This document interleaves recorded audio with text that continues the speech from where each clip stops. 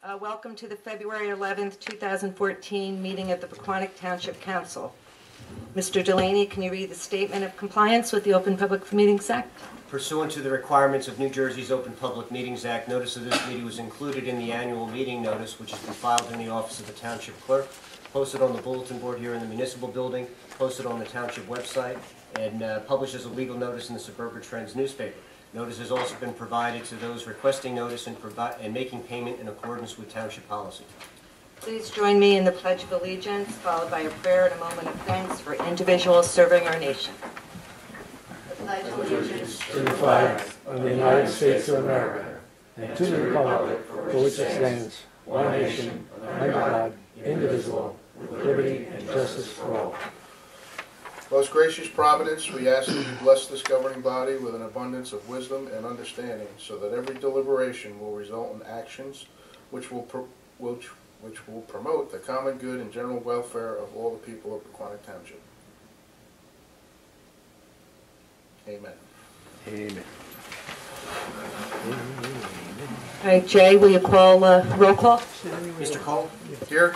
Mr. Phelan? Here. Mr. Vanderhoff? Here. Ms. Winterfield? Here. Mayor Florence Lynch? Here. Okay, um, first item on the agenda is uh, presentations. I guess we don't have, do we have any presentations tonight? Okay. Uh, Now we'll go to reports from volunteers. At this time, are there reports or comments from the volunteers? I understand uh, Ed and uh, Jay have a presentation from the Historic District Commission. Uh, Thank you, Mayor. Um, I am Jay Wanzik, uh, Chairman of the Historic District Preservation Commission. And uh, tonight, uh, in addition to myself, we have uh, Township Historian and Member Ed Engelbart, Lou Abear, Robert Safarik, Anita, and uh, Dave Wisniewski. Um, First, I'd just like to uh, thank council for the opportunity to be here tonight, and also thank you for all of the previous support you've had. Uh, To that effort, we're very proud of, of the efforts we've made with the Town Museum over the past several years. And um, as evidence of that is the Pathways of History book that the uh, collective uh, township and municipal and private museums in Northeast Morris County issued this past fall. And I don't know if all of you have a copy of that, but our, our township museum is featured in there, as well as a number of other museums in the northeast part of the county.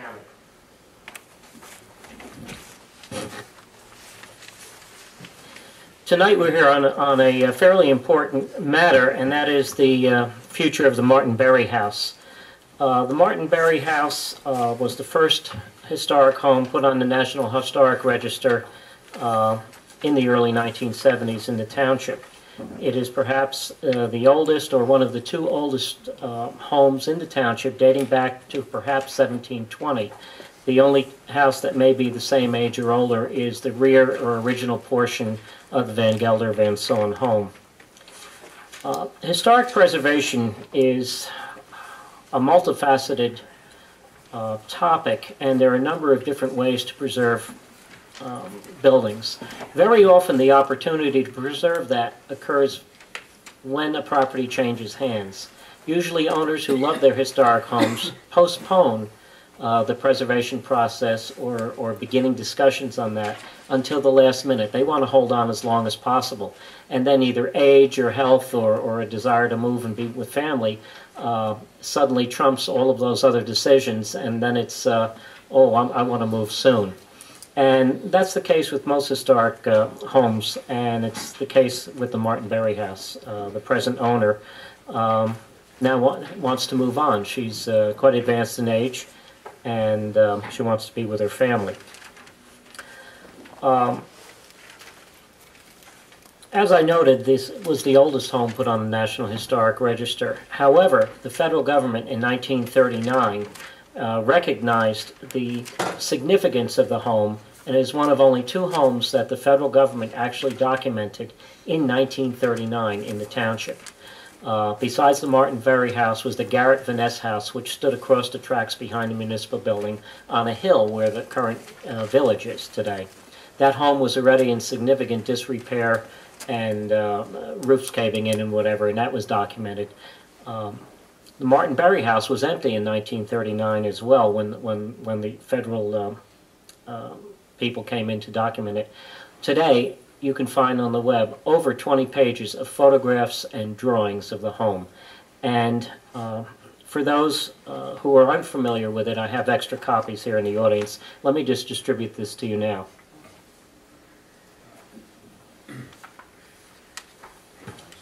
Again, for those who are unaware where the Martin Berry House, it's situated uh, between the end of Cedar Road and Route 23, just north of uh, Stefano's Restaurant or uh, where the Hobby Hut used to be.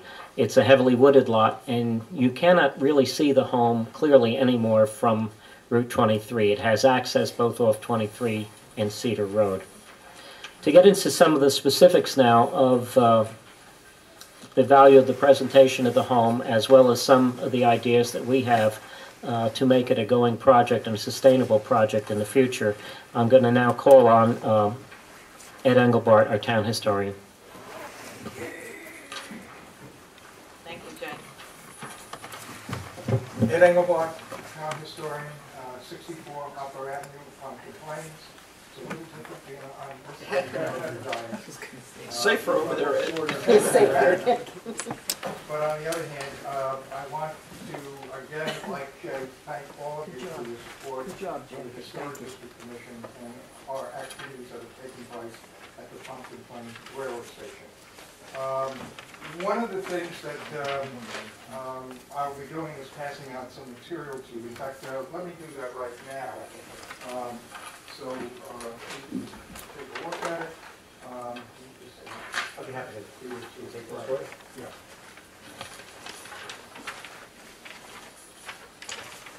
Uh, I don't know how many of you have been over to the Martin Berry House, but if you go to Route 23, uh, you'll see a historic sign there.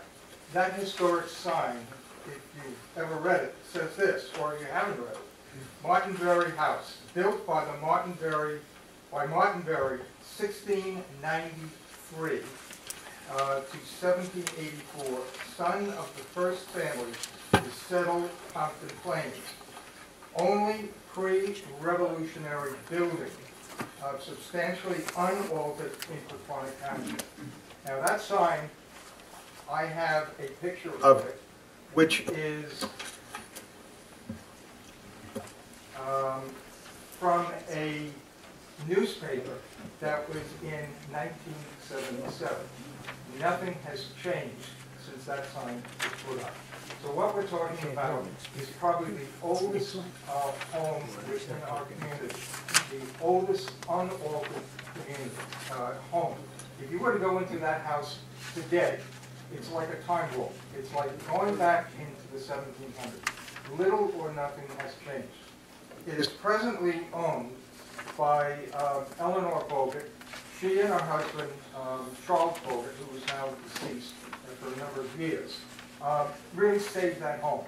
Uh, Originally, that site was going to be, uh, or was designated commercial, and it would have become one of those 1950s, 60s types of strip mall stores.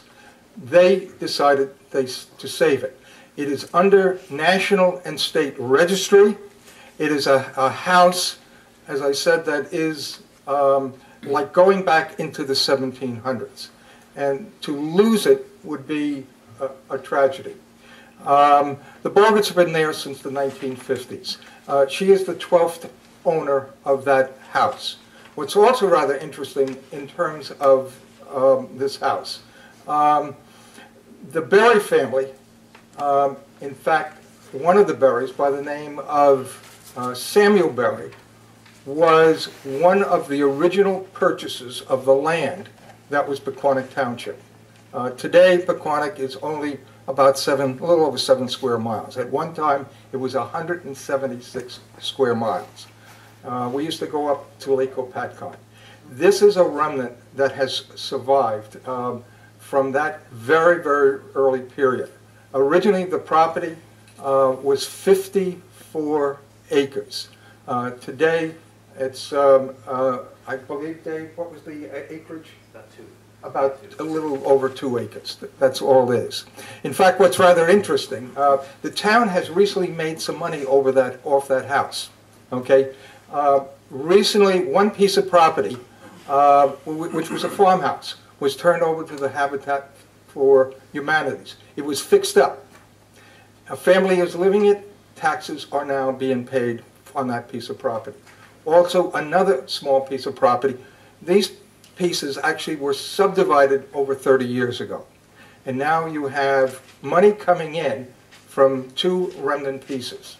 What we're interested in is saving the existing house with the land around it.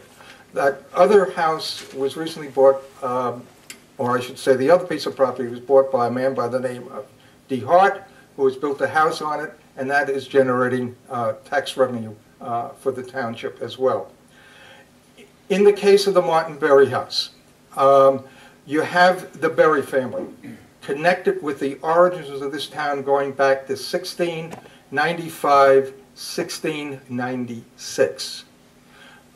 In the case of the Martin Berry House, you also have another connection. Uh, in the cemetery of the First Reformed Church, there's a man by the name of James R. Evans. He was the station agent of, um, of the uh, Plains Station. He owned that house at one time. When he received his Medal of Honor for service in the Civil War, he was living in that house with his family at, the, at that time. So there is another connection with another noted uh, individual. Uh, in the case of, of Evans, uh, he also played a role in the history of this town's government.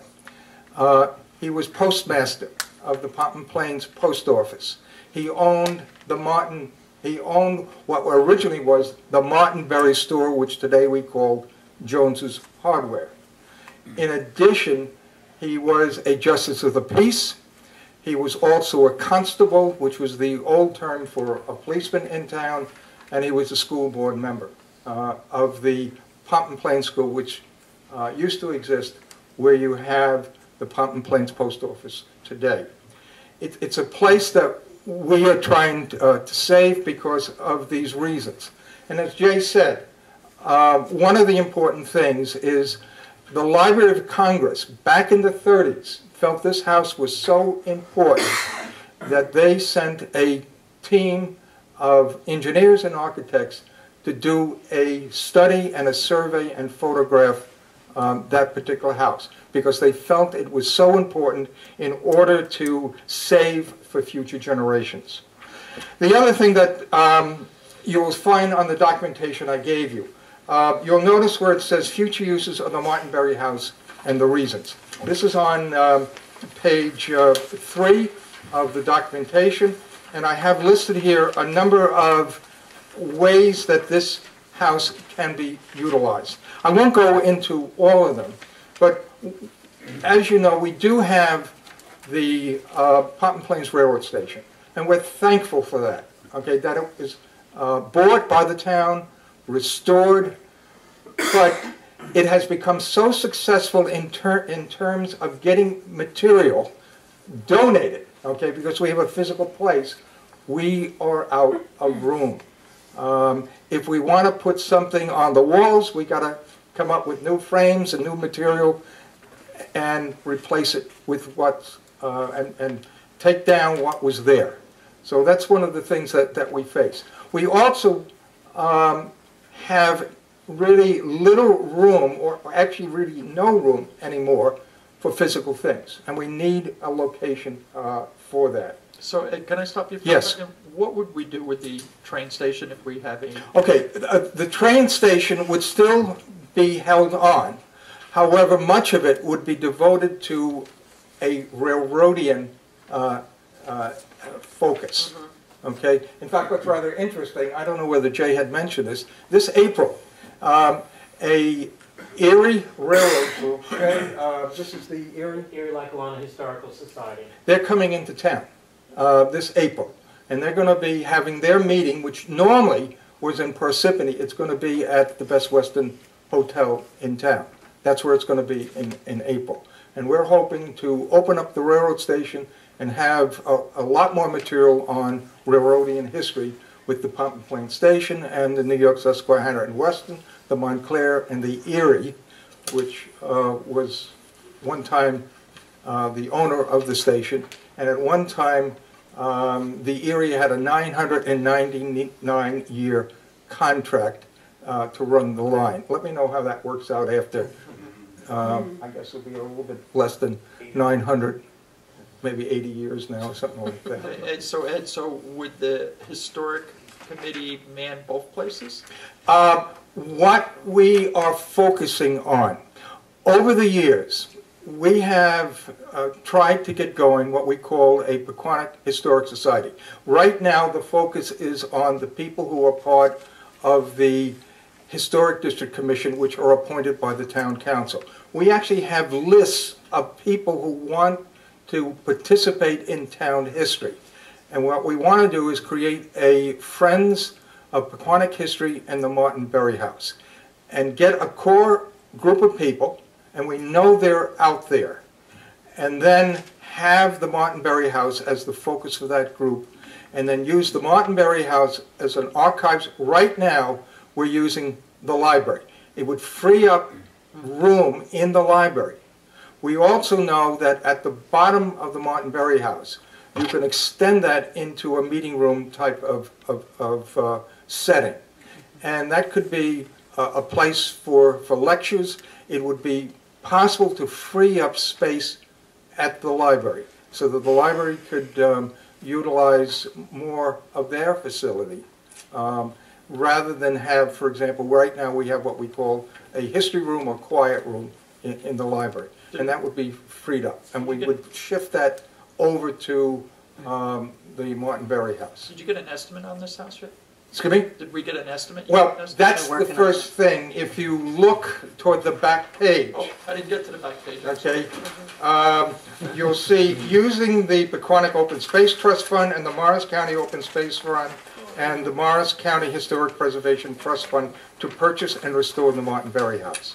Uh, What would happen is, the first thing we are asking you to do is to provide some money for a, uh, an appraiser, okay, to appraise the house. We will then go to uh, Mrs. Bogut, who is 93 years of age, God bless her, we should all live that long and have the uh, skills and ability that she still has today. Ed, Ed, I have a Yes. question for you. What kind of condition, I haven't seen it in years, what kind of condition Um, is that house in now, and what would be the plan The house to keep does it? require work, okay? Now, the first step would be an appraisal. Negotiate with Mrs. uh, uh, uh, Bogut, come up with a figure, um, and then submit that figure to the Morris County Open Space Trust, okay? We don't know what they would give, but given the nature of this particular house, okay, and its history, um, I cannot see how they, they would uh, oppose it. There are a number of towns, for example, that have more than two, that has two or more sites that they take care of uh, within their uh, purview. Uh, The town of Wayne, even though it's much, much larger, actually has two homes. Okay, the Van Riper Hopper House, as well as the Schuyler-Colfax House. And there's uh, other communities that have the same thing. So when would you need the money for the appraisal? As soon as we can get it, So it would have to go on our agenda next meeting. Correct. For us to. Right. Have a discussion and then go through that whole. Right. I'm sure the council. And then I've spoken to, uh, to Dave about this, and we do have a way of getting an appraiser. Uh, We have a connection with the uh, New Jersey um, uh, Land Conservancy. Right, but the, the- the appraisal's not gonna be that much money. No, couple not the thousand cost of it isn't good. Right, Right. right, that's the first step. Right, it's the Then second, third negotiating. step Right. that's gonna get. And then going to the Open Space Trust, I've spoken to people from uh, the Open Space Trust on this, and they told me that there is a kind of um, window that we have to meet, which would be sometime in June. Okay. We, we- we have tied up some of our open space money temporarily, looking at a piece of property on the other side of town. I know that. Okay, just so you're aware. Okay. The- The idea is we'll try to get as much as we can. No, I- There might have to be a, a contribution from our own open space trust. But that remains to be seen as to what are the requirements of the uh, uh, Morris County Open Space Trust. Um, and Again, I'm sure the council would be agreeable to doing the appraisal. Right. Um, Let's just just start going down the path and see what happens. That's it. Yeah. It's, it's really taking it one step at a time. Yeah, I mean, it sounds very, you know, it sounds like a very interesting concept and something to explore. It's just, you know, what's, how much money is it going to be? How are we going to maintain it over time? Now, Uh, with regard to restoring it, the way we did with the railroad station, you then make application to the Morris County Historic Preservation Trust Fund, and that's on an 80-20 basis. Okay, uh, they supply 80%, um, the town has to come up with uh, 20% for the restoration.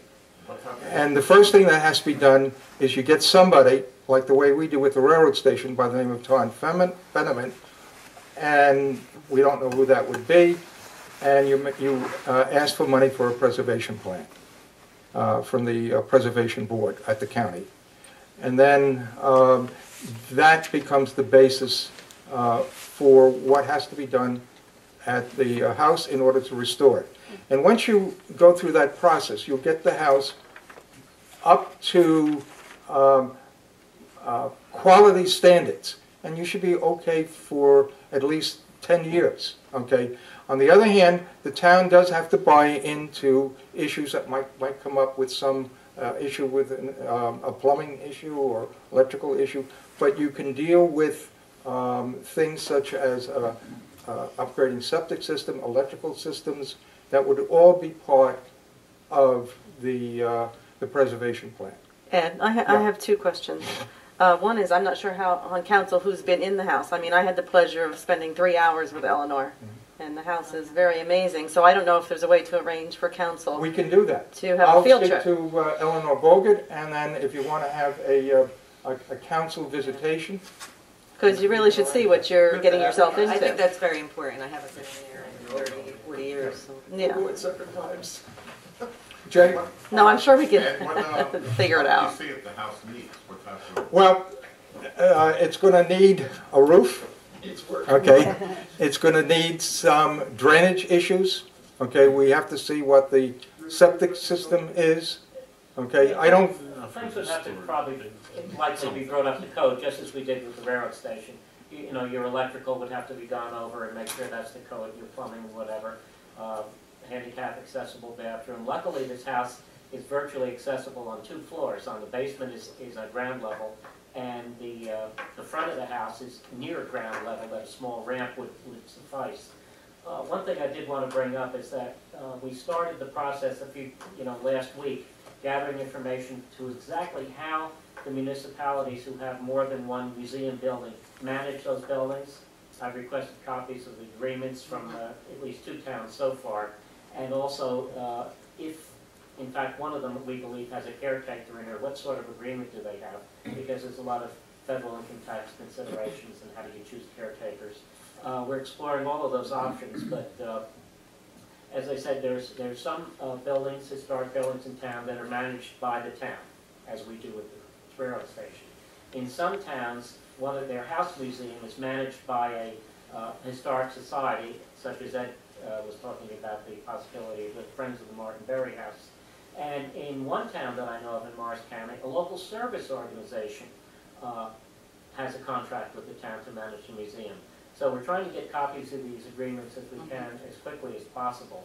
And uh, as we get them in, or I'll put them in a package for uh, council sometime uh, towards the end of next week, so you have that to look at, as the possibilities as- as how the, uh, uh, the uh, location of the Martin Berry House Museum would be managed. Are there others that are managed by a county historical society at all? well, you do have the Morris County Historic Society.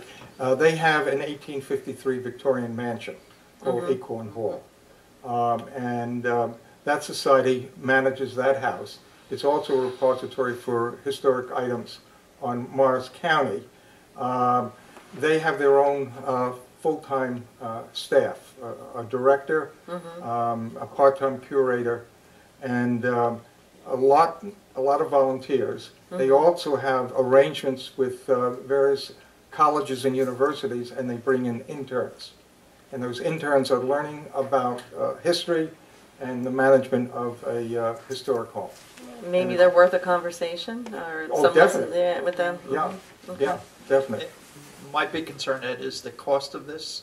I mean, as you start talking about repairing this and repairing that and putting Yep. new roofs on and stuff, you've heard the, mon- the, the comment money pit just comes to mind when you're talking here. Uh, Mm-hmm. Yeah, know, but the, but the big problem is, under current laws today, okay, somebody could buy that house, neglect it, and then what's gonna happen is they will use that neglect to bulldoze it. That's what will happen. So the taxpayers should pay to keep it from being neglected, is what you're saying? Well, what I'm saying is, you have a house that's a historic house that has a long history with this community. This is a surviving remnant of what our town was like at its origins. And it's a decision of this council, and I think it's also a decision maybe of the taxpayers, okay, definitely. Are they willing to support this initiative that's being presented by the Historic District Commission? Well, I think what we have to do is do the appraisal, and then we'll take it step by step and see what the actual cost. That's, at this point, that's all we're asking. Right, and I You think, do it step by step. right, I think that's the smart thing to do, Right. because as we start to look at it and see what the cost is really going to Correct. be, and what's it gonna cost to replace this, and what's the county gonna give us, and, oh, we have to kick twenty percent in, and so forth, et cetera. Correct. So we have to see what the big picture is, in my opinion. Uh, correct. But we can start, my opinion, with the I mean, appraisal. we're here tonight to, to a- ask. Plant the The, seed. the, the pla- Plant the well, seed. the original support is for an appraisal. The thing is, though, that she is 93, Eleanor and Bogart, so we can't wait three years. We really need No, to. let's put it on the I agenda. think, We I need think we're all on the say- same page as far as exploring it. Well, well, exploring is, Right, is one but- thing, but we really need to get the appraisal done so we know what we're talking about with the county because they won't talk to us without an appraisal, Right, honestly. but can we put this on a fast track somehow, Dave, or? Well, sure, and I mean, after the last meeting where, uh, you know, we had Uh-huh. floated the idea, um, know, based on feedback, I, I really wanted to have Historic District Uh-huh. Commission come in and kind of give a a more detailed, uh, plan and overview for the home. Um, I, I really expected to have the, uh, the, uh, the appraisals, uh, the estimates, uh, for this evening. They didn't have all of them, you know, as we typically do, uh, Land Conservancy goes out and requests, uh, proposals from three different, um, you know, appraisers. Uh, they don't have all three. Um, you know, we know what these appraisals cost. They're, they, they, for single-family homes, they tend to be, uh, you know, in the eight, nine hundred dollar range. If you want to approve it, we can, you Let's know, by, approve by motion, you can approve up to, I'll ask for twelve hundred, um, just to be on the safe side. All right, so I can make a motion to, um, approve you getting an appraisal up to twelve hundred dollars. And as soon as we have the, uh, the estimates in hand, we will award it to the lowest of the three, uh, three quotes, and we'll do a confirming with the specifics, uh, and the company name next time, but, I mean, that can, that'll get us rolling. All right, so I made a motion. I'll second it. There you go. Roll. Melissa- Melissa, roll call?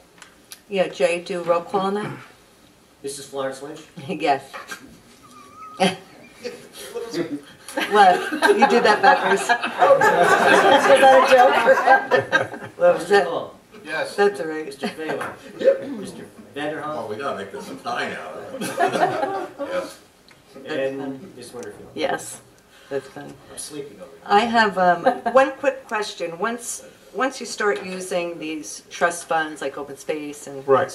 to, to fund this, are you allowed to do other things on top of it, whether it's getting, you know, whether it's a fundraising by Uh, the grant money, things community, like other whether grant. it's other grants, whether it's volunteers that can come in and say, you know, we want to, you know, you might get a builder in town that says, I'll do the roof, you know? Well, I'm just wondering that- if that's something. I'm, I'm not sure, that might uh, pose uh, It's in an accordance with issue. whatever the town, the municipal bid laws, the state bid laws. Right. are. Yeah, and, and the, uh, the requirement for, you know, if you get a grant in the historic district, you know, Morris County Historic Preservation is a, an eighty, twenty, uh, you know, twenty goes to the local, but those funds don't have to be municipal tax dollars. Okay. If there were funds raised privately, they could make up a portion or all of the twenty percent. And those, and that twenty percent, you can get it from any source.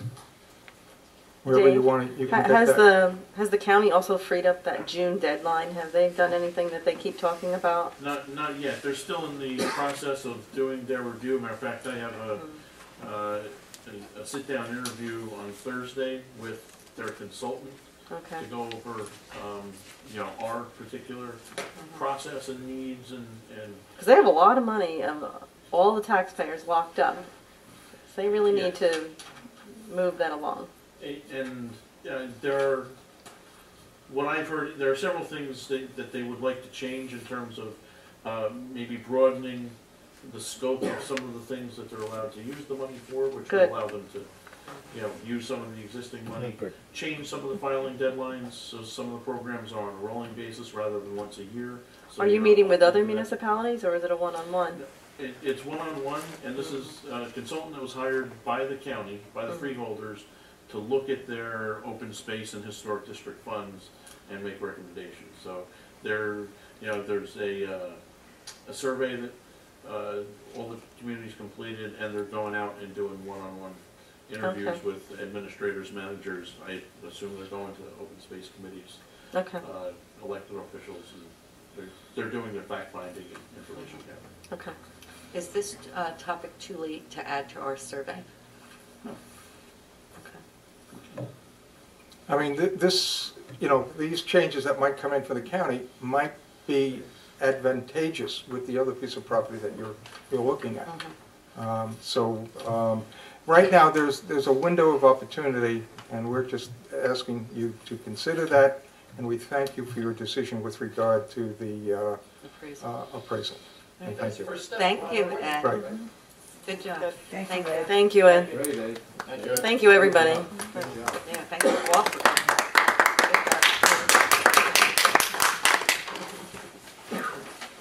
All right, um, are there any other uh, committee volunteer reports now? So where are we now? All right, next item on our agenda is uh, public comment. This public comment period will be limited to a total of 30 minutes. An additional period for public comment is reserved for later in the meeting. Individuals are requested to limit their questions and comments to three minutes. If anyone wishes to address the council, please wait to be recognized to come to the microphone and provide your name and address for the record. Anyone? Okay. All right, I guess we're done with our public comment. All right, next on the agenda is our public hearings. We do have one public hearing on our agenda, correct? Let me just do it. Yes, Mayor, uh, this is a public hearing on ordinance number 2014-01, an ordinance authorizing the execution of a contract for the purchase of Block 2306, Lot 20, also known as 90 Village Road, from Richard Bertoli and Julie Bertoli. Any comments on that from the council? Or- Or I should say from the public? Open hearing to the public. Open hearing, I'm on the wrong page here, I'm sorry. If anyone in the audience has any questions or comments, um, please come to the microphone and identify yourself for the record. Anyone? Okay,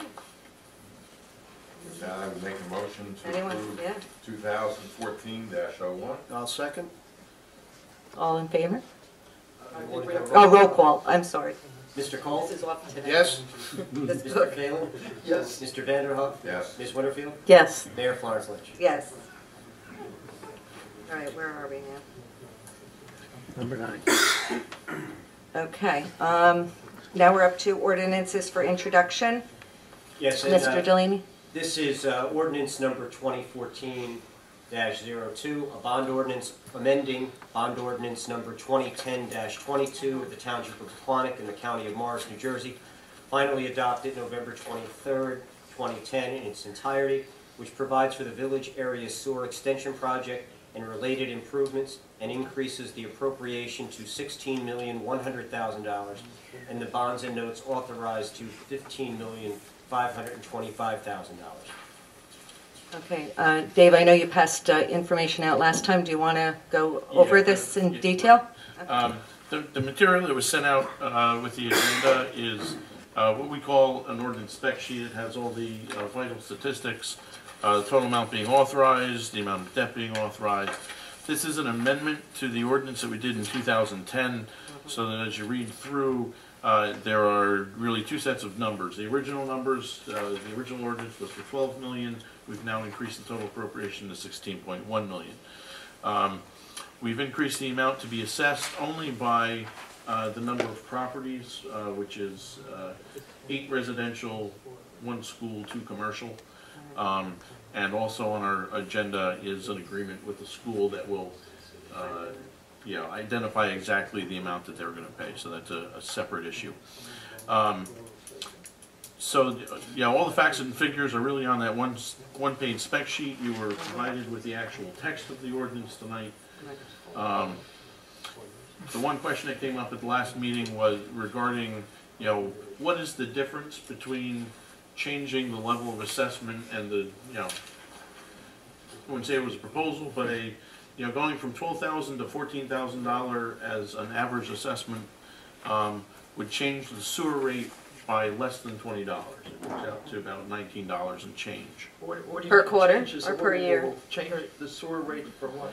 I- If you were to, it, it, Currently, I When- pay when we- hundred sixty-six dollars and fifty cents. Yes, is that twenty per quarter So or now- per year? no, twenty per year. Per year. So twenty per year divided by four is five dollars. Right, if you were to, it actually goes the other way. Oh, it's If gonna you go were- less, cheaper? If you were to assess at a, on a basis of an average of fourteen thousand dollars per home, Right. it would potentially reduce the sewer rate by nineteen dollars and fifty cents. So For everyone. Twenty dollars for the year. So it would go down, is what you're saying? Because Well, of if the you- If you initial- assess Right, more, if you- you would be Assess. charging the sewer customers less. Right. So that, I mean, that, That's not gonna happen. That's provided they all come on board at the same time, which they won't. And that's not gonna happen for a- a- at least four or five years, right? Hmm. Well, it, there's a, a couple different numbers that come into that equation. Um, as people connect, they're paying connection fees. Once the assessments are levied, you then have the additional assessments, and, yeah, So how long did we do the assessments last time? Three, four, five, six years? several years. And the, and the, the numbers I use in round numbers on the, on the rate study, the rate calculation, is two years after the project completion is when you start collecting assessments.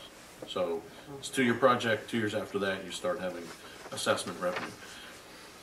The, four years out.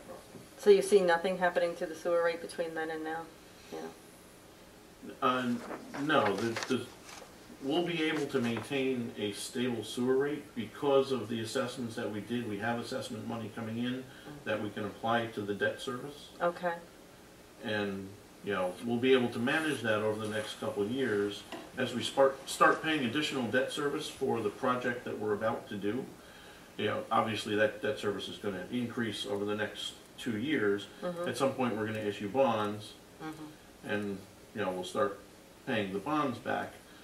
Within a year or two of issuing the bonds, we'll then have the assessment revenue coming back. but you don't see no spike and then, or anything like that. No, we'll that? be able to manage that through the assessments that we're currently collecting. We'll have to, we'll have to use them sparingly in this year and next year so that we have sufficient funds to cover the debt service payments as they increase in uh, sixteen and seventeen. But it, it, it's completely manageable with the, the revenue stream that we have, Okay, without spiking of the rates. okay. And by the time this affects each property owner, it'll be, we're talking like four years out, about? four years from now, 2018, well, uh, construction period of 18 months, we're gonna start in April, so, you know, connections starting in 2016.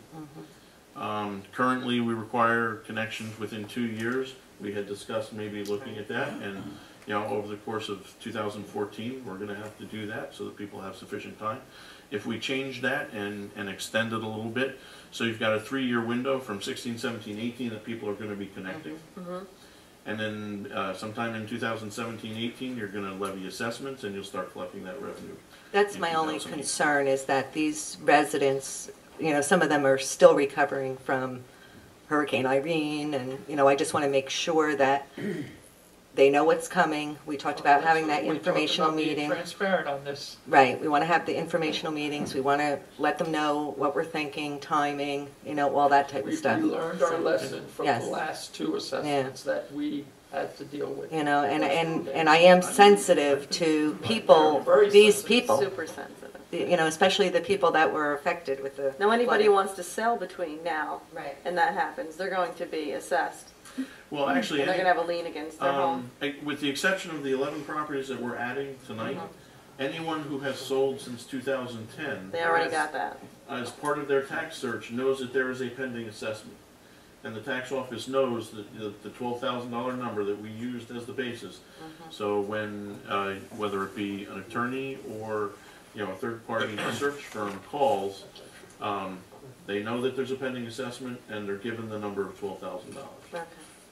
Yeah, because, I mean, I, I know I've talked to some residents that swear they hadn't heard anything like prior to, but you're saying they should have known since 2010. Well, if the They were house looking- sold, it came up in a If they- tax, in a tax search. Right, but Melissa, a lot of people Right. don't follow That's as true. closely That's as true. we do. Until it really happens. Until it, really yeah, happens, I think yeah, that that's we- my concern. This particular time, we want to go out of our way to make sure Yeah, that's my residents feeling. are aware, so that we don't have to go through the assessment uh, Nightmare. difficulties, nightmare, however you want to refer to it, that we inherited, Yeah. so. No, I, I totally agree, and I agree with you totally that I want to be transparent. I want the information to be out there, even if we have to do an informational session, um, session with these people. And what people. happens, Dave, with uh, people, you know, there's a lot of elderly people out there, seniors who, they don't really have anybody, because we found them during the flood.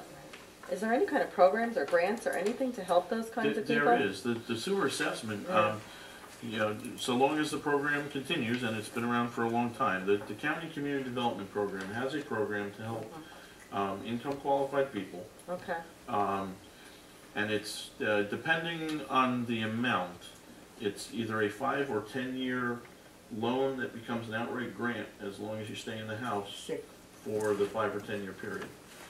Um, the- because we're gonna have to make sure that we lay that out Many there of so our people don't. residents have taken advantage of that for sewer systems.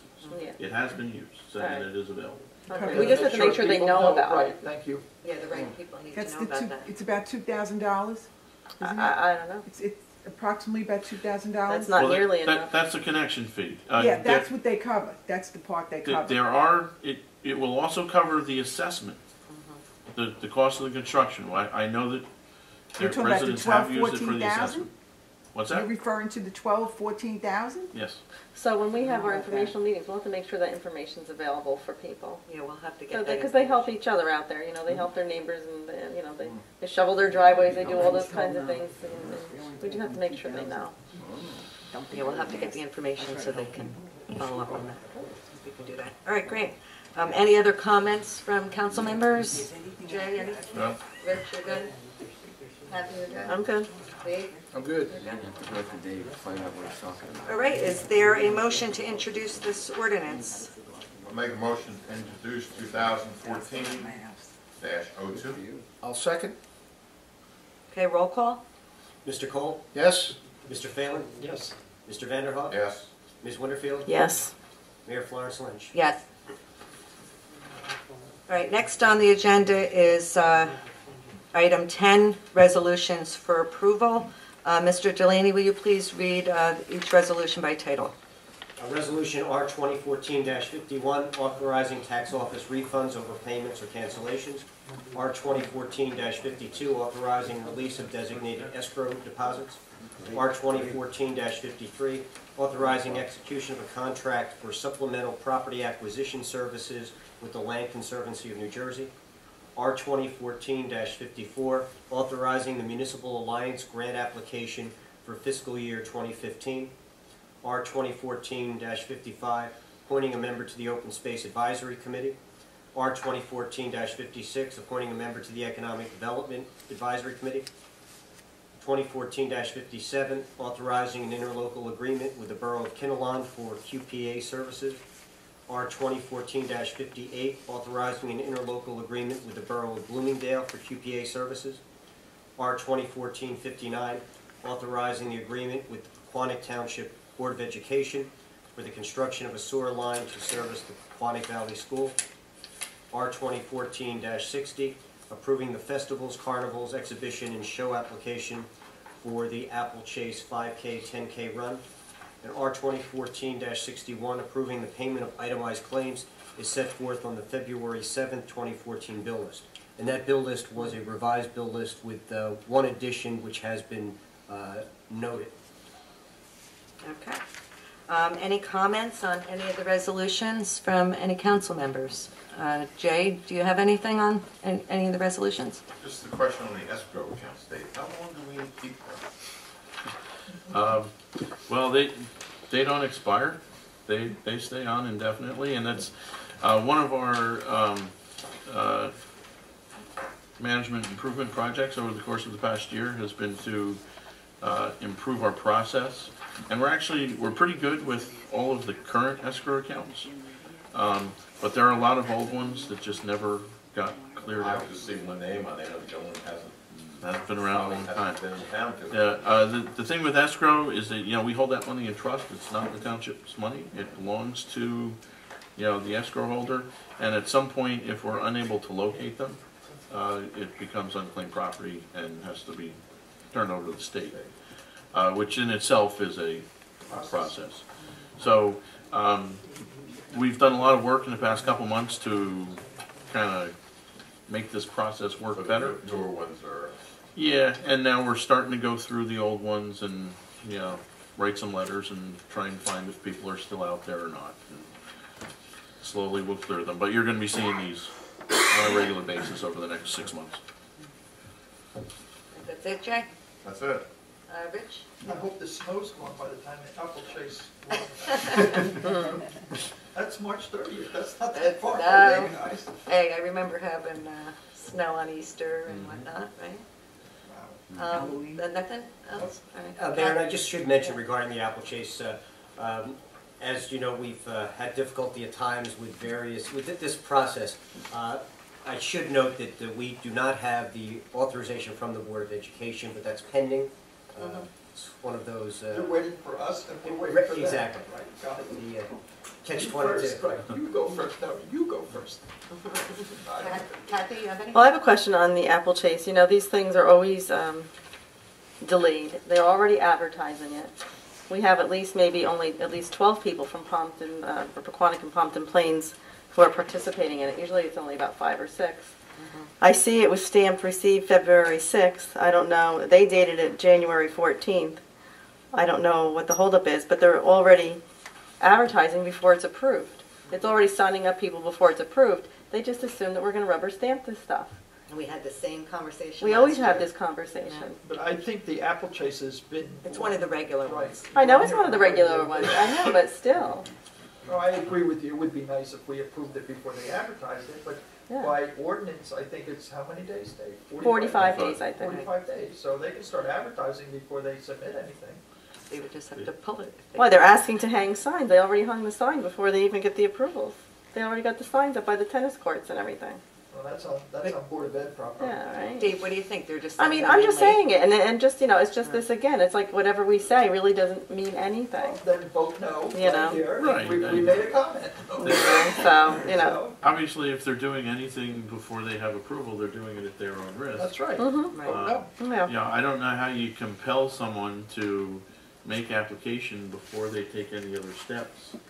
Well, do we say Or- anything, Jay, when we, ha- when they come in late? Do we at least kind of try to educate them for the next year? Well, They're frank- not late. frankly, this is, uh, This is we're happy early. to get them in, we have enough trouble getting them in by the 45-day deadline. Yeah. Well, Right. This is early. This is early, It yeah. is. Okay. But it really, you know, we say we do it every year. It's not really, doesn't really serve Pequannock. You know, majority of the runners are not Pequannock. They- They just happen to use our facilities and they make money off of it. So the least they could do- police force Yeah, the least they could do is everything give us the courtesy of doing things in the way that they're meant to be. That's all, that's all I have to say.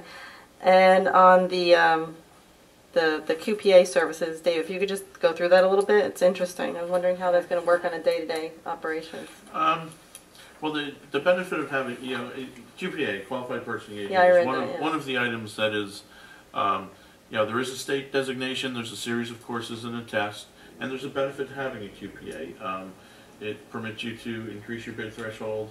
Um, uh, and handle a lot more of the routine purchases administratively without having to go through an extended and protracted, you know, formal bid process. Well, that's good. How much does it raise it? Um, significantly. Without a QPA, it's 18, Uh, 17? seventeen-five. 17.5. With it can be as high as 36. That's great. Hollies are, Hollies are. Ho- Holly is our QPA, yes. Uh, Mhm. Jay also holds the designation as QPA, so we're fortunate to have a couple people on staff who, who have the, the designation. A lot of communities don't have. And that's a certification they get? Yeah, it's a uh, series of courses and a state exam. That's good. Uh, It is, like I said, it's not required. Uh, This, you know, the state doesn't like to do that because of the state mandate, state pay kind of thing. Um, But there's an absolute benefit to having it. And it just happens that the, uh, the financial professionals in these three communities, you know, we have worked together and known each other a very long time. We help each other out on a regular basis Mhm. anyway. Um, So this is, you know, a discussion that actually came up over a year ago, um, and we're putting it in place. My hope is that it leads to other opportunities for shared administrative type services. So we're not gonna do all their purchasing, but when they need to, No, no, they no. will? It's, there's only very specific, uh, between that threshold of the seventeen-five and the thirty-six, if, as long as you have the designation, you're now allowed to make a purchase, um, without formal bidding. you- with- Through quotation, through, you know, a a quotation process. So, um, Holly will be available to them to consult and kind of go over the process. As, you know, the, part of the reason that this will work is because the finance professionals in those two communities, um, you know, we have a good working relationship. They are, they know what needs to get done. What is the it's more- documentation that documents that they consulted with her and all that? What, how's that happen? Um, the, most of it will be by email, Okay, so that they've, you know, they've got a record of okay. her having reviewed, you know, the, the materials and, um, there's probably only a couple purchases a month Mhm. where she's going to be involved. Okay. Like, i- if you consider the number of bids that we actually do, uh, she'll be involved in, uh, bid review from time to time, and she, she'll be avail- available by phone to consult Okay. when they need. Hey, the more we can do things Yeah, like no, this, I the think it's better. great. Yeah, it's great. Like you said, it leads to other things. Yes. Uh, That's Dave, it. you have anything? Dick, just explain, what exactly is the school gonna get from us for the hundred and fourteen thousand? Are we just going to bring the sewer connection onto their property, and then they're going to, They get a sewer line.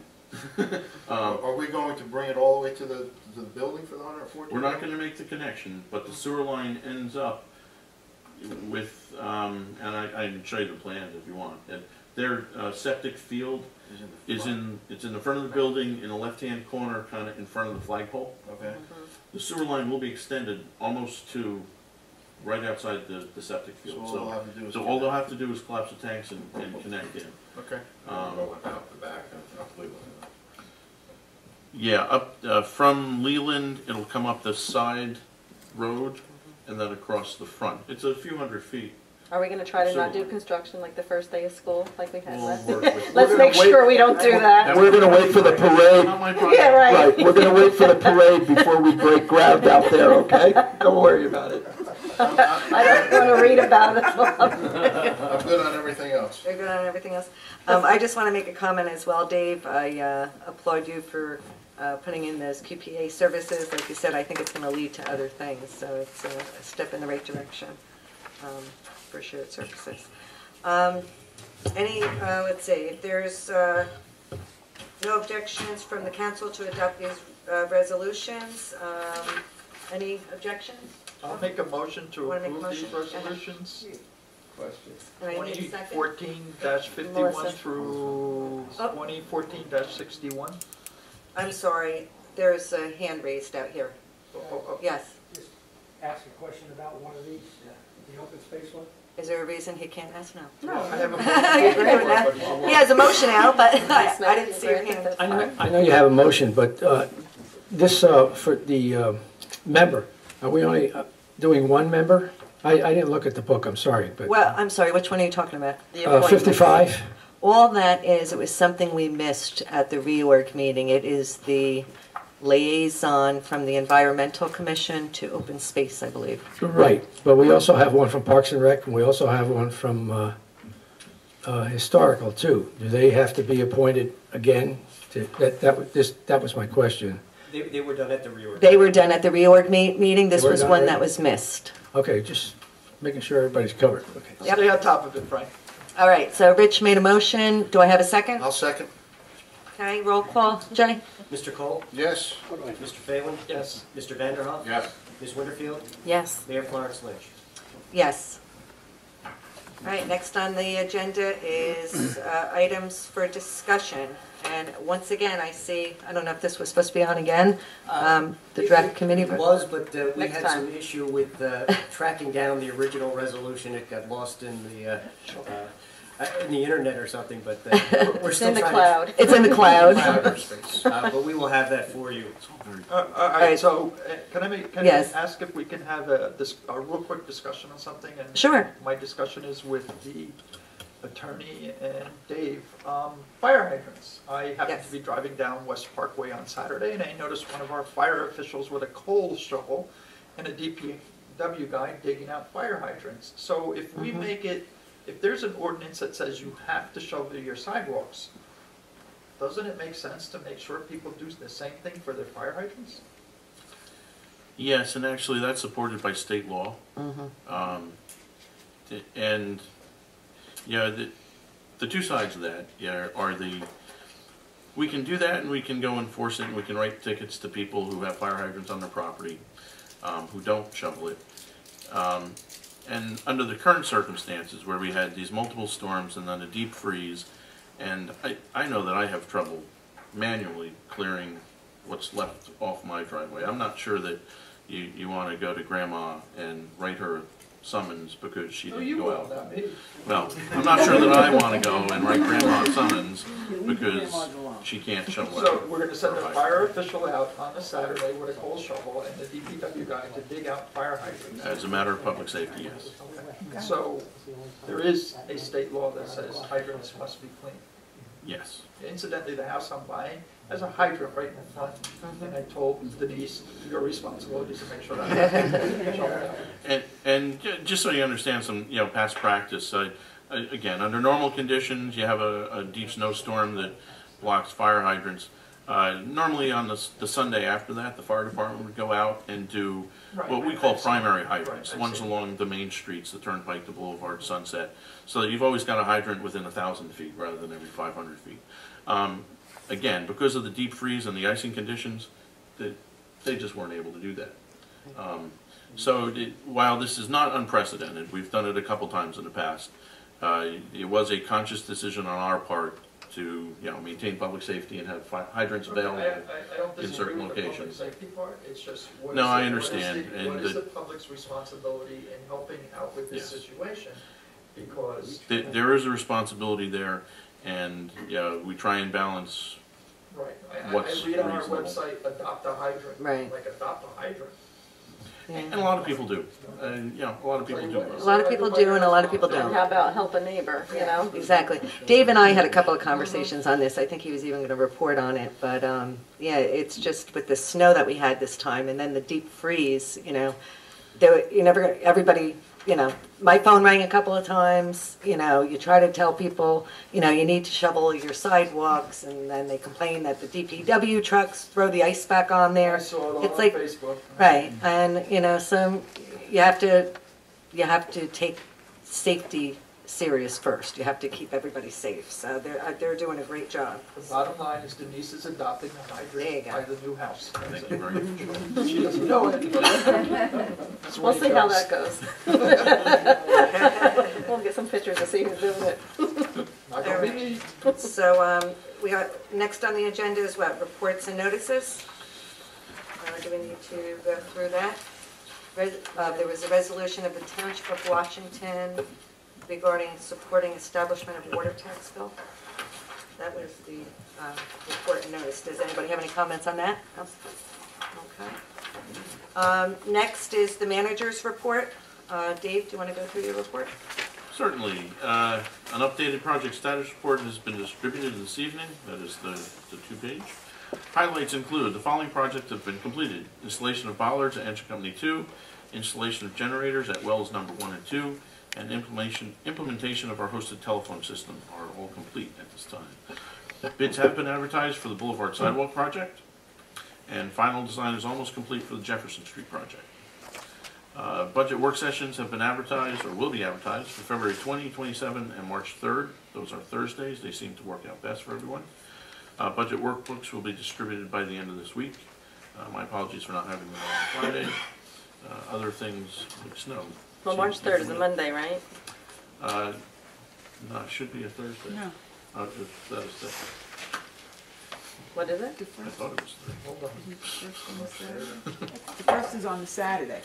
It's on a Saturday? The first is on the Saturday. sixth. No, Ma- March 3rd, it says on here, though. Is it, you say- is it March 6th instead of 3rd? All right, sorry, it's supposed to be the 6th then. Okay. The sixth, March sixth. twentieth, whatever, what I have. the sixth. It was three, three consecutive Thursdays. Uh, This winter has provided many challenges for our DPW in maintaining safe roads. All residents are asked to assist in clearing snow from around fire hydrants. As snow continues to accumulate and travel widths on our streets become narrower, every effort is made to keep our streets safe, including uh, sight distances at intersections. It's very important that snow not be pushed back into the street during or after municipal plow operations. This is also um, uh, regulated by ordinance. It is not permitted for residents or businesses, snowplow operations, uh, to push snow back into the street after we have plowed. Uh, It's not something that we enforce rigorously, and and for most snows, it really, it's not a big deal. Uh, um, It just gets pushed to the side. It's going to become a big deal because all the material on the side of the road now is frozen solid. It is rock hard. An additional snowstorm that, you know, may be coming, that snow has nowhere to go except up and over, and it's gonna continue to narrow the width of our roads. We are going to start enforcing, seriously, pushing snow back onto roads. So, um, you know, people who snow blow, plow operators who are pushing it out to the road, uh, just be warned, don't do it. I have a question also about the sidewalks. Are the sidewalks supposed to be the width of the sidewalk or just this little narrow path that goes down? Bicycle Uh, Because some of the sidewalks are like the Very sh- narrow. very narrow, Um, that you have to walk single file. Hey, As long as they're passable. we- They're done. We consider them done. Yeah, if no effort's been made, or I mean, it hasn't been done in a storm or two, that's when we, Okay, uh, you you know, door hanger notices and then uh, summonses. okay. And I would hope if anybody has elderly neighbors, that they're out there helping them. Let's hope. Some yes, some no. Mhm. That's your report? Okay. Um, Let's go to the council uh, reports. Councilman, uh, let's see, we'll start with, I'll go on this side now. Dave, uh, report? Uh, Parks and Rec had to change their meeting from Monday, uh, February 3rd to Tuesday, the 4th. Unfortunately, I was not able to attend that because I had an umpires meeting that I had to attend. Uh, There are some things that are coming up. Uh, Spring Fling uh, is going to be Saturday, April 26th. Uh, The 43rd Annual Trout Fishing Contest will be on April 5th. And the townwide garage sale will be on the um, May 17th and August 23rd. There's a whole bunch of other stuff. Uh, The farmer's market is moved back to behind Town Hall again because I guess they were originally, get- they were thinking about moving it to PV Park and with the sewer project, that's gonna be a problem, so they're, they're moving it back to, uh, to town, behind Town Hall here. Uh, Open Space met last night and they talked about the uh, easements, and everyone is in agreement with the easement that Frank uh, brought to us at the last council meeting, and that's all I have. And Dave, they are, Park, uh, DPW doing a great job, and I was glad to see that they started removing the snow from the business communities down in in this area, and I'm sure everyone is greatly appreciated for everything they're doing there. Thank you. Pass it along. Uh, I really don't have anything. Uh, my commission did a wonderful job out there. Uh, I have an extra copy of this. I don't know if you want to share it with Steve, so maybe you need some material for the paper.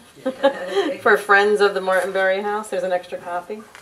Somebody wants to give it? You got it? Okay, good, because it'd be nice to see a little write-up there. my book, I saw. Yeah. Yeah, he actually wrote the article for him. There's Something really nice to write, 'cause then. Okay, um, And Ed, if you can think about the, the field trip for council to the house. That's But one we of, have to go at separate times, we can't. that's one of. I'm sure we can figure it out. Okay. I've already been, so, you know, We'll make it a social gathering. there you go. Cookies and a compass and all that stuff. That's exactly what I didn't say that, you guys said that. Okay, Rich, you got anything? Uh, Just that the first aid squad is gonna be looking to purchase a new ambulance next year. Uh, Their current five, uh, five seven is starting to fall apart as they sink more money. So, just relaying the message. Could you say that again, Dave? The woman in the back wants to hear a little bit better. They don't need an ambulance. Let the seniors hear that. Wait till, We already got a new one. wait next time he pulls mine. That was the rescue. Uh, Fort Hills Park Day, White Tower, I don't think we need the White Tower. Okay. Is there one? Why there's a light Well, there? keep it there. Well, Is, it- is it sleigh riding or is it like bobsled? You know, the, It's ice, yeah. Yeah, really, it's like all ice. Parents and everyone The had luge. lights on that. Have kids been there lately? Yeah, I live there. It's probably a good Okay. year. Uh, about six years ago, we passed a tree, a Christmas tree ordinance. And we had, uh, four years ago, or three years ago, some people come in and I cried, and Mhm. it was changed. And I'm sure that gentleman's not around anymore, but if you go out down the turnpike, it's a little past the Christmas tree market, and Holy Spirit has everything still out there. I do have to make a comment on that, because I had mentioned that, um, because I had noticed that, but then I did talk to Sister Marie. They have been trying to get it The weather's been down, bad. but it's, they can't get it out. And I said to her, do you, do you need, do you have a crew? She goes, oh, no, we have the people. Plenty time To take it between out. Christmas and New Year's. But she's, she's saying that the ground was just rock solid and they couldn't get the stuff out of there, but they are working on it. They got You're down right, everything. being they Well, I'm just saying.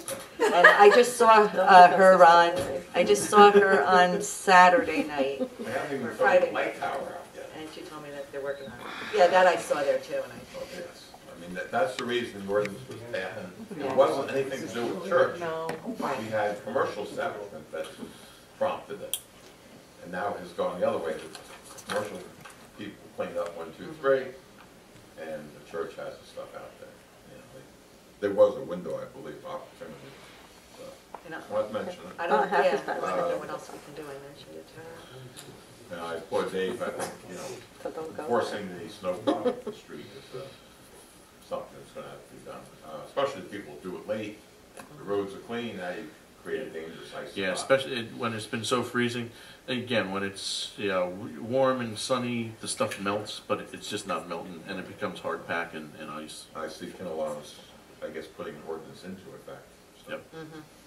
Uh, Planning board's gonna discuss the sign ordinance and rezoning in the March meeting. Uh, Fire department had an officers meeting, uh, everything went well.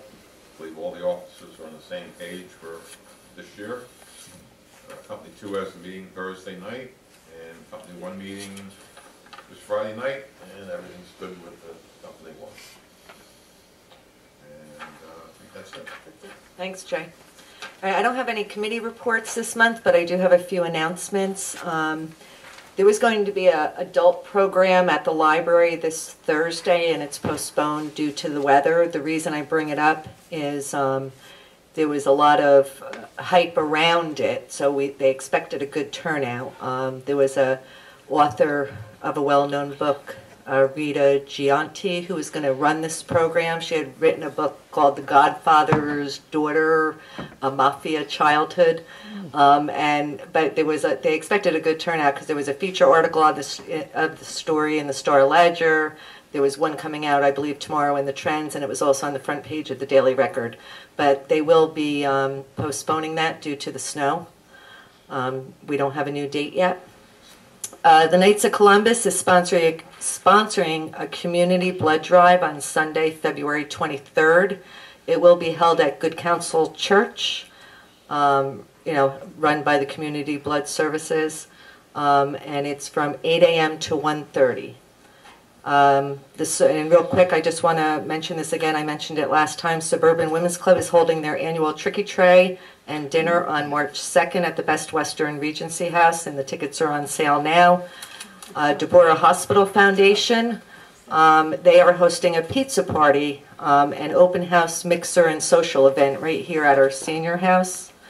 Um, And everyone's welcome and invited to celebrate Heart Awareness Month and to find out more about uh, the life-saving work of Deborah Heart and Lung Foundation. That's February 27th at 7 p.m. And then don't forget, on Sunday, April 5th, the township will be uh, sponsoring their annual River Cleanup Day. Uh, Letters did go out to business, businesses and organizations that have helped in the past. We're always looking for volunteers to come out that day, and I know all of you are working on that. But if you know someone in a local organization um, that will uh, help on that day, please contact the clerk's office for more information. We'd really appreciate it. And that's all I have. So what was the date of the tricky train? That is, The twelfth, I think. do I have the wrong date? March 12th. Well, okay, you said the second, that's a Sunday. All right. Yeah, no, March 12th. Okay. Okay. um, That's what I said. And um, next on the agenda, we're going to go into public comment. Um, If anyone wishes to address the council, please wait to be recognized and come to the microphone and provide your name and address for the record. Anyone from the public want to come up?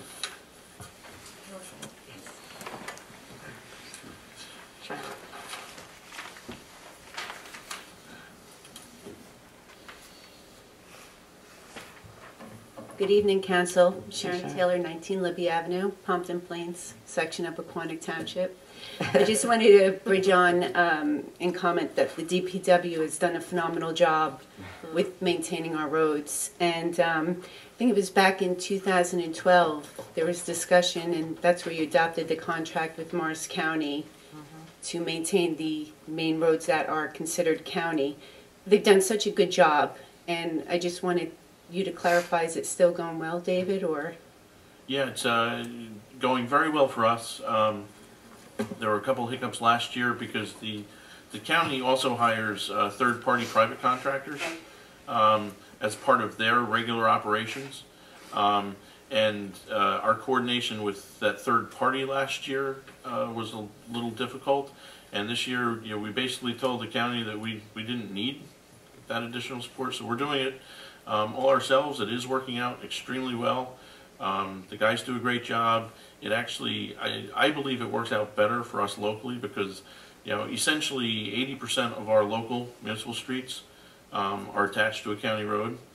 So, uh, you know, to coordinate that with our own guys works out much better.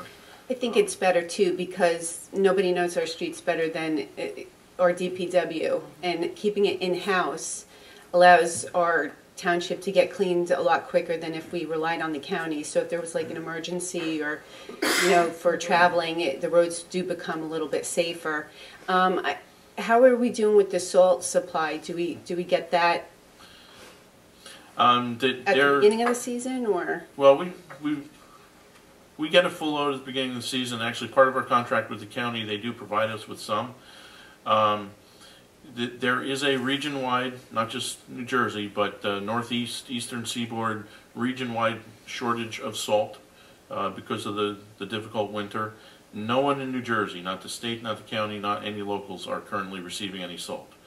Um, this is a potential problem if we continue to experience bad weather. Um, our supply is adequate for now. Uh, we're okay at least through the next storm. Um, the state uh, has reached out as uh, to other states as far away as Virginia and Maine to try and uh, relocate supplies, but with uh, no success so far. So, um, yeah, we we have always been fairly conservative with our salt use between the use of brine, um, and we don't have a lot of hills that we have to worry about. Uh, you're you're going to notice uh, that we're going to be a lot more lean with salt over the next couple weeks, uh, in anticipation of not having an adequate supply, so that it will be used extremely sparingly and only at you know intersections and on hills. Um, so we'll- manage it and we'll make it last as long as we can. But we, like I said, we are, we have adequate supply for the next, at least the next storm and probably the next two. And it- how much like do we bring in in the begin, we bring it in the beginning of the season, like how much, do you know, or? Well, we can store uh, several hundred tons. Um, We also supply salt to the Board of Education and to Chilton Hospital. Um, Yeah, they're, they're we've, very clean, Chilton Hospital. we've Hospital. noted, uh, notified both of them that they need to be conservative with their use as well. And then does the township, um, maybe with the upcoming snowstorms, just, you know, um, reach out to the public to drive a little bit more safe, safely if we're kind of low on salt, you know? Um, because, you know, I think, um, you know, there's always that concern, there's a lot of commuting within the township, you know, so if we're kind of running low on supply and, you know, the roads, especially the county type roads, Well, we hope that people drive safe yes. all the time. Uh, You know, and to the extent that we do, um, you know, weather bulletins, weather advisories, if we need to include that type of information. Yeah, the, the other uh, safety concern that we have, you know, now and going forward is uh, sight distances at intersections, because the piles at the side of the roads tend to start getting uh, above three feet, which is, you know, about what, where drivers and cars sit when they're looking. You don't necessarily see drivers coming, so it's not just the ice on the road, it's the ability to see where you're going. So there's a lot of safety concerns, and we'll continue to try and get that information out as necessary. And, and we're still getting reimbursed, was that seventy-five dollars? Uh, Um, yeah, we actually upped it a little bit, and we've, uh, we've billed the county so far this year, uh, not including the most recent storm, over twenty-five thousand dollars, Okay. um, more than covering our costs.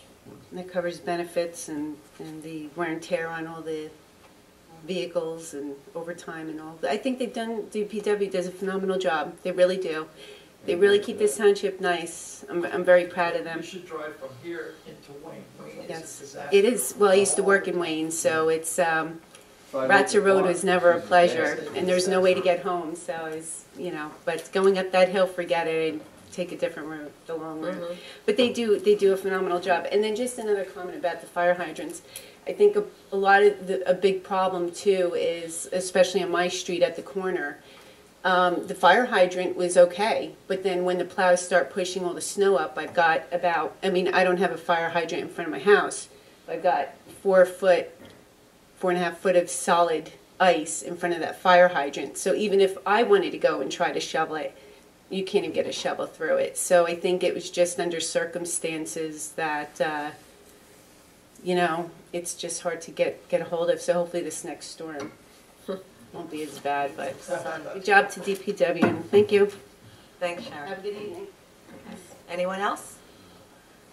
Was it did I see Lou's hand up or I something? did, I was, I had similar comments to what Sharon had to say. Did I cover it all? You covered it all? Thank you very much. Good report. All right. Um, I think that's it then. Um, The next item our- on our agenda is closed session. So at this time, we'll be going into uh, executive se- session. I'll make, Um, Am I supposed to say what it's in regards to? Discuss two matters of litigation. Right. Okay, two tax appeals. And uh, is there a motion to I'll go in? make a motion to go into executive. Seconds, please. All right.